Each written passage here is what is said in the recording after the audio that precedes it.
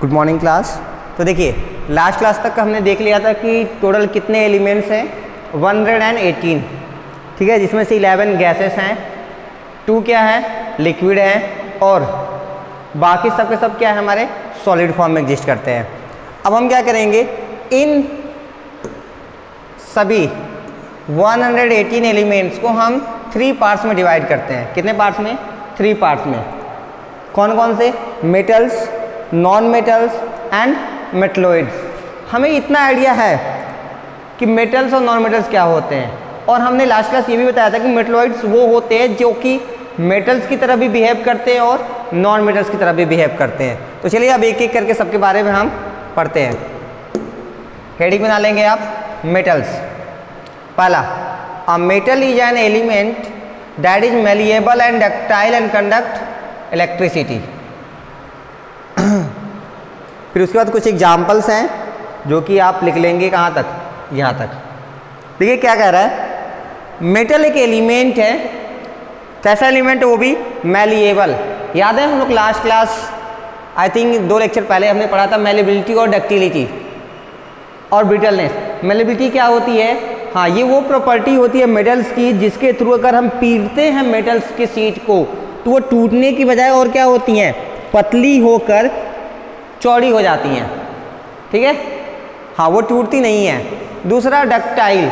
Ductile का मतलब? हाँ वो अगर हमको गला के वायर बनाए तो वायर टूटता नहीं है। और तीसरी चीज़ they are good conductors of electricity चलिए एग्जाम्पल्स देख लीजिए क्या क्या दिया है? आयरन आयरन का सिंबल हमने बताया था आपको, क्या होता है, याद है?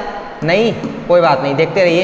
F E capital F small E that is iron copper that is capital C small U aluminium capital A small L zinc capital Z small N silver capital A small G gold capital A small U platinum capital P small T chromium capital C small R sodium, capital N small A potassium capital K आप इन सब के symbols दो बार, तीन बार पढ़ लीजिए और कोशिश करिए कि आपको याद हो जाए। Next one is magnesium capital M small G nickel capital N small I cobalt capital C small O tin capital S small N lead capital P small B cadmium capital C small D mercury capital H small G antimony capital S small B tungsten W manganese capital M small N uranium U तो ये कुछ elements के symbol हैं जो कि आपको ध्यान में रखने हैं। All the metals are solid except one metal that is mercury and liquid तो आपको ये नोट पॉइंट में लिखना है। ये बहुत इंपॉर्टेंट है। जितने भी मेटल्स होते हैं, सब सॉलिड होते हैं, एक को छोड़ के। और वो क्या है? हाँ दैट इज़ लिक्विड सही है? चलिए फिर आगे बढ़ते हैं। प्रॉपर्टीज़ ऑफ़ मेटल्स अब हम एक एक करके मेटल्स की प्रॉपर्टी को डिस्कस करेंगे। तो देखिए, पहला प्रॉपर्टी हमने क्या पढ़ा था? मेटल्स आर मेलिएबल मतलब इसका समझ में आ गया होगा आपको? हाँ कि अगर हम मेटल्स को पीटे तो वो टूटते नहीं हैं। वो ब्रेक डाउन ना होकर वो क्या करते हैं? फैलते जाते हैं। That property is known as metal तो आप इसमें बहुत ज़्यादा नहीं, लेकिन कुछ तो लिख लीजिए। तो देखिए फ़र्स्ट प्रॉपर्टी आपका हेडिंग बना लीजिएगा properties of metals first metals are malleable और उसमें ठीक है? आप यहाँ तक लिख लीजिएगा। क्या है? This means that metals can be beaten into thin sheets with a hammer without breaking इसका मतलब ये है कि जो मेटल्स है, आप उनको पीट पीट के पतला बना सकते हो और ये टूटेंगे नहीं। Gold and silver metals are some of the best malleable metals सबसे ज़्यादा मेलिएबल कौन होता है? गोल्ड उसके बाद silver aluminium and copper metals are high also highly malleable metals उसके बाद कौन है? एल्यूमिनियम एंड कॉपर देखिए, आगे क्या दिया है? All these metals can be beaten with hammer to form a very thin sheet called foils ये जो भी है मेटल्स ये पीट पीट के एकदम पतले पतले बनाए जा सकते हैं और इस पतली सी चादर जो बनेगी थीन सीट उसको हम क्या कहते हैं? फॉइल कहते हैं।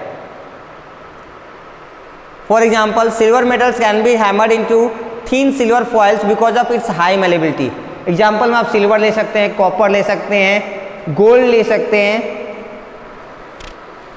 The silver foils are use for decorating sweets आपने बहुत सारे स्वीट्स देखा होगा, उसके ऊपर कुछ डाला गया रहता है, ऊपर चिपका रहता है। हाँ वो क्या है? सिल्वर फॉइल्स होते हैं, जो कि स्वीट्स को डेकोरेट करने के काम आते हैं। Similarly aluminium metal is quite malleable and can be converted into thin sheets call aluminium foil उसी तरह से जैसे सिल्वर मेटल का हुआ, वैसे एल्यूमिनियम मेटल्स के भी क्या है?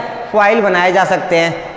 Aluminium foils are use for packing food items like biscuit chocolates medicine cigarette etcetera बहुत सारे फ़ूड के सामान आप देखते हैं ना पैक करके आते हैं। इसमें जो पैकिंग में यूज़ किया जाता है, वो क्या होता है? Aluminium foil for example milk bottle caps are also made of aluminium foil जो मिल्क बॉटल का कैप होता है, वो भी किससे बनाया जाता है? एल्यूमिनियम फॉइल से।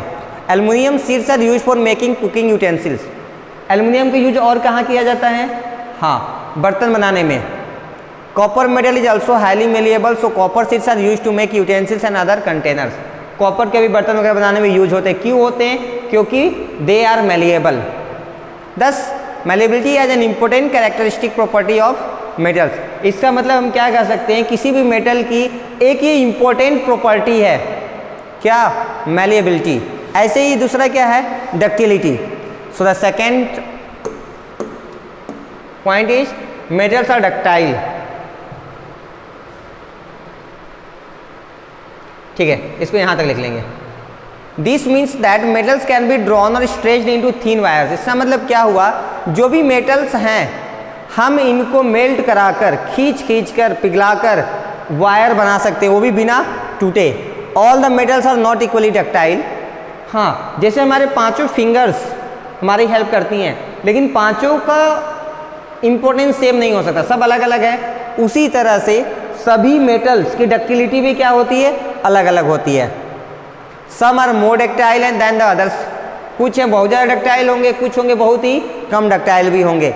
Gold and silver are the among are among the best ductile metal उसमें सबसे ज़्यादा डक्टाइल कौन होते हैं हमारे? गोल्ड और सिल्वर आप 100 मिलीग्राम अगर मेटल ले लें, जैसे कि सिल्वर तो आप उसे 200 मीटर लंबा वायर बना सकते हैं। कितना?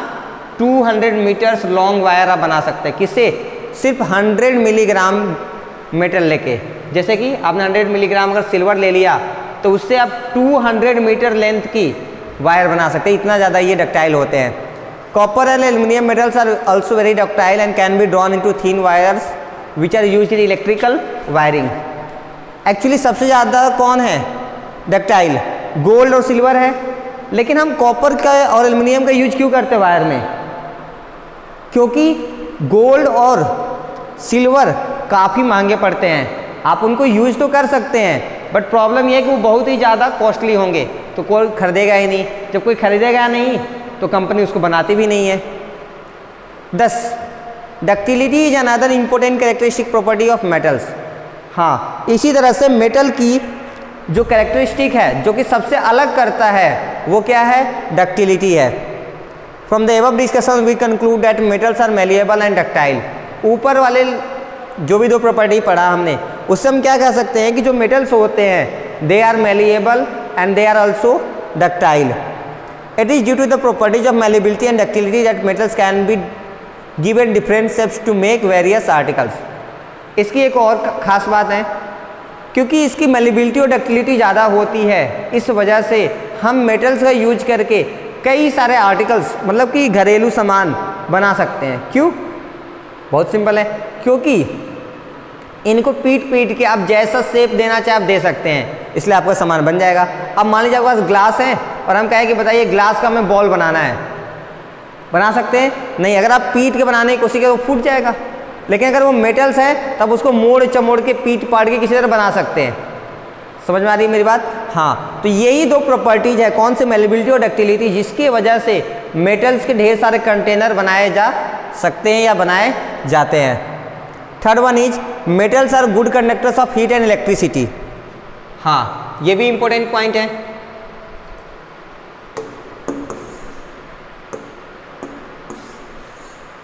क्या है? देखिए थर्ड पॉइंट लिख लेंगे metals are good conductor of heats and electricity उसके बाद आप ये यहाँ तक लिख लेंगे। This means that metals allow heat and electricity to pass through the बिजली इसका मतलब इससे यानी कि मेटल्स के कंटेनर से या मेटल के आर्टिकल से हीट और इलेक्ट्रिसिटी आराम से पास हो सकते हैं। Metals are generally good conductors of heat the conduction of heat is also called thermal conductivity heat का कंडक्शन यानी कि हीट एक जगह से एक इंड से दूसरे इंड जो पहुँचता है इस प्रोसेस को हम थर्मल कंडक्टिविटी भी कहते हैं। Metals are generally good conductors of heat the conduction of heat is also called thermal conductivity ये तो हो गया था ना? Silver metal is the best conductor of heat कौन सा मेटल सबसे ज़्यादा बेस्ट है? Silver metal it has the highest thermal conductivity copper and aluminium metals are also very good conductors of heat copper और एल्यूमिनियम भी क्या है? Good conductors हैं, लेकिन बेस्ट कौन है? हाँ the cooking utensils are and water boilers etcetera usually made of copper और aluminium metals because they are very good conductors of heat जो भी बॉइलिंग करने वाले सामान होते हैं या फिर घर पे जो हम बर्तन वगैरह यूज़ करते हैं, ज़्यादातर इनके क्यों बनाए जाते हैं मेटल्स के? क्योंकि वो गुड कंडक्टर ऑफ़ हीट होते हैं। कुकिंग में हमें ज़्यादा हीट वेस्ट नहीं करना पड़ेगा। The poorest conductor of heat among the metal is lead अगर मेटल्स में पूछ लिया जाए कि सबसे बैड कंडक्टर ऑफ़ हीट मतलब सबसे कम कंडक्शन ऑफ़ हीट कौन सो करता है? दैट इज़ लेड इसका सिंबल होता है capital P small B P B mercury metal is also a poor conductor of heat mercury भी है, लेकिन सबसे ज़्यादा कौन है? लेड नेक्स्ट देखिए। तो आप इसको लिख लीजिएगा। ये नोट पॉइंट करके लिख लीजिएगा यहाँ से लेके यहाँ तक। नेक्स्ट है metals are good conductor of electricity the metals offer very little resistance to the flow of electric current and hence so high electrical conductivity resistance का मतलब आप समझ लीजिए डिस्टर्बेंस अगर इलेक्ट्रिसिटी फ्लो हो रही है, अगर कोई उसको रोकना चाहता है दैट इज़ रेजिस्टेंस तो रेजिस्टेंस एक प्रॉपर्टी होती है जिसकी वजह से इलेक्ट्रिक करंट क्या हो जाता है? डिस्टर्ब हो जाता है. आप टेंथ में आराम से काफ़ी अच्छे डिटेल में सीखेंगे इसको. फ़िलहाल, आप ये मान के चलिए कि रेजिस्टेंस क्या करता है? इलेक्ट्रिक करंट के फ्लो को रोकता है. तो देखिए मेटल्स में ये रेजिस्टेंस कम होते हैं। अगर ये कम है तो इलेक्ट्रिक फ्लो ज़्यादा होगा या कम होगा? हाँ ज़्यादा होगा। क्योंकि डिस्टर्बेंस क्या है? कम है। सो so, इसमें आप लिख लीजिए silver metal is the best conductor of electricity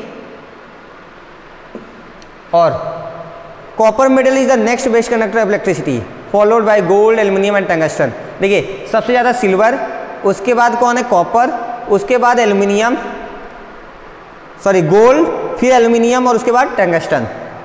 The electric wires are made of copper and aluminium metals because they are very good conductors of electricity हाँ जो भी कॉपर वायर होते हैं या फिर वायर बनाए जाते हैं वायरिंग के लिए, वो कॉपर और एल्यूमिनियम के क्यों बनाए जाते हैं? Because they are very good conductors of electricity तो देखिए सिल्वर क्यों नहीं यूज़ किया जाता? वो तो बेस्ट कंडक्टर है, क्योंकि सिल्वर क्या है? काफ़ी महँगा है because silver is very expensive चलिए नेक्स्ट देखिए क्या दिया है। The metals like iron and mercury offer comparatively greater resistance to the flow of current कुछ मेटल्स ऐसे हैं जिसमें रेजिस्टेंस ज़्यादा होता है। रेजिस्टेंस ज़्यादा होने का क्या मतलब हुआ? हाँ कि इलेक्ट्रिक करंट फ्लो क्या होगा? स्लो होगा या कम होगा। कौन है वो? आयरन है और मरकरी है। कौन है? आयरन एंड मरकरी तो आप इसको भी नोट कर लीजिएगा। यहाँ से यहाँ तक, आयरन एंड मरकरी तक, यहाँ तक। कर सकते हैं? चलिए नेक्स्ट प्रॉपर्टी देखते हैं क्या है।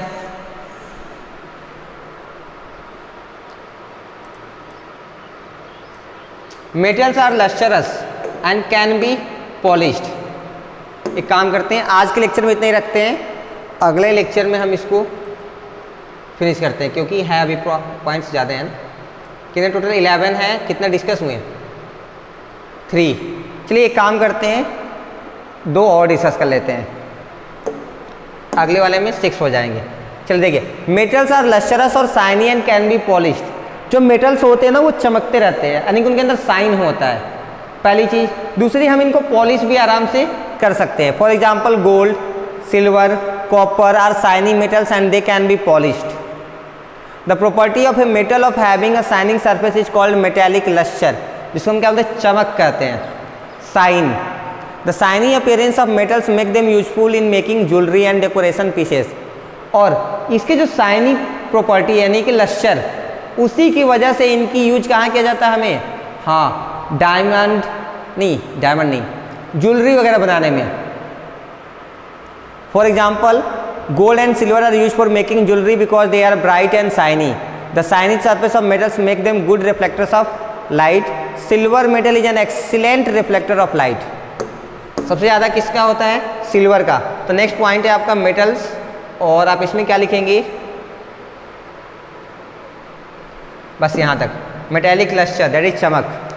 क्लियर है? एक पॉइंट ये भी लिख लीजिएगा। यहाँ से। नोट पॉइंट करेगा silver metal is an excellent reflector of light चलिए, आज के लेक्चर में इतना ही। बाकी हम नेक्स्ट लेक्चर कवर करते हैं। Till that thank you so much